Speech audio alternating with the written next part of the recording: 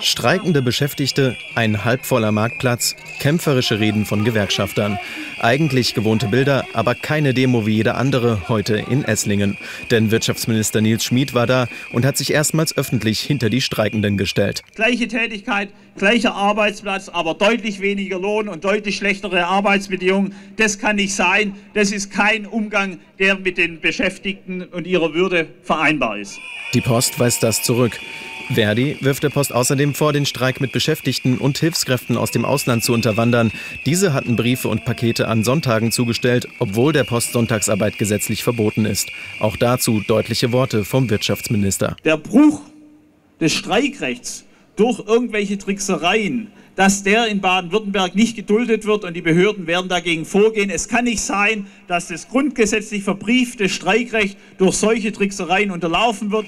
Die Post dagegen sieht keinen Bruch des Streikrechts, spricht von Mitarbeitern, die aus Solidarität zum Unternehmen arbeiten gingen. Ab morgen wollen die Post und Verdi wieder miteinander verhandeln. Gibt es auch dann keine Einigung, wird es sie wohl wiedergeben, die gewohnten Bilder vom Poststreik.